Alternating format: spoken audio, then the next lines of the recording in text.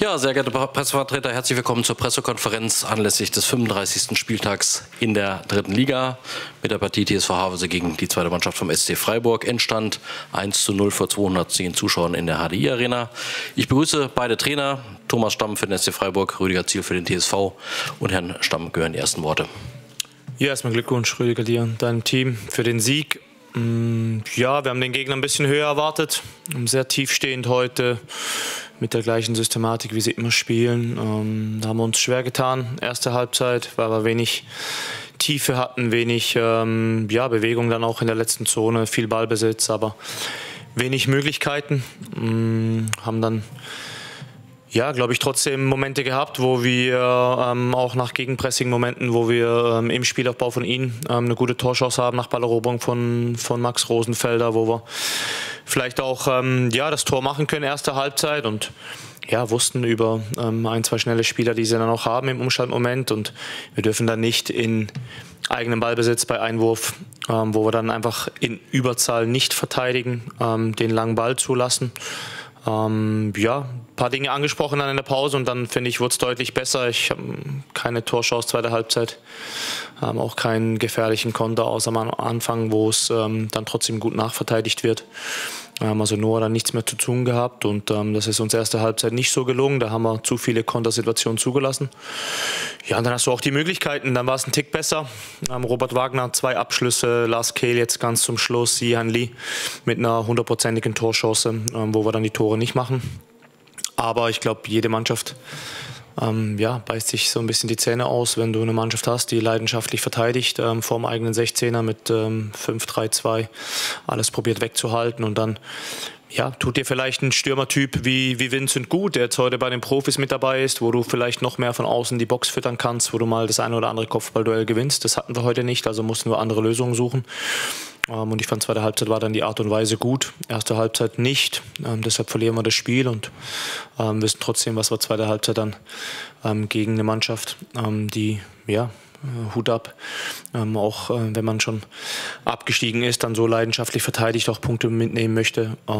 Ja, unsere Chancen rausgespielt und die müssen wir nutzen. Das begleitet uns diese Saison ein bisschen und ja, wollen jetzt trotzdem Kräfte sammeln. Montag, Samstag war war mit zwei Auswärtspartien, lange Reise, ähm, trotzdem auch viel. Kräfte sammeln und dann nochmal in den letzten drei Spielen angreifen. Danke. Vielen Dank, Thomas Stamm. Rüdiger, wie hast du das Spiel gesehen? Ja, erstmal Dankeschön für die Glückwünsche. Ähm, ja, am Ende war es, glaube ich, äh, ja, viel, viel Laufarbeit, viel Verteidigen von, von meiner Mannschaft. Ähm, Klar, der Ansatz, normalerweise einen Wechsel hinzukriegen, im Angriffspressing oder Abwehrpressing zu stehen, war einfach diese Entscheidung, jetzt gegen eine spielstarke Mannschaft von Freiburg tiefer zu stehen, weil sie es eigentlich immer geschafft haben, den Ballbesitz, die erste Linie zu überspielen. Und der Gedanke einfach war, dann dann stehen wir direkt schon tiefer, bevor wir noch hinterherlaufen müssen und äh, dann die eigene Hälfte verteidigen. Und das hat die Mannschaft richtig gut umgesetzt. Ich glaube, in der ersten Halbzeit nochmal mehr Balleroberungen gehabt und dann auch Kontermöglichkeiten gehabt. Ähm, zweite Halbzeit war es einfach viel Leiden, viel Laufen. Und ich glaube, alle, die ähm, im Vorfeld jetzt von dem Spiel oder auch den anderen Spielern immer ähm, fragen, wie es mit der Moral, wie es mit der Einstellung der Mannschaft bestellt ist. Ähm, ich glaube, war heute eine, ein gutes Zeichen einfach, dass man viel, viel investiert, viel gelaufen ist, ähm, zu Null gespielt hat, sich belohnt hat dann für einen großen Aufwand und freue mich einfach für die Mannschaft, dass wirklich ähm, sie gezeigt hat, welcher Charakter in ihr steckt und wir heute, wenn es auch ein bisschen glücklich ist, aber am Ende müssen wir uns für die Art und Weise nicht entschuldigen. Das ist eine Herangehensweise, die auch andere Mannschaften wählen. Und ich bin einfach froh, dass wir das so gut umgesetzt haben und da die drei Punkte geholt haben. Und äh, Mannschaft einfach ähm, sehr, sehr viel investiert hat und ähm, Zeichen einfach wirklich nochmal betont, welcher Charakter in der Mannschaft steckt. Vielen Dank. Vielen Dank, Rüdiger. Gibt es Fragen an die beiden Trainer? Dirk Tietenberg, bitte einmal kurz aufs Mikrofon warten.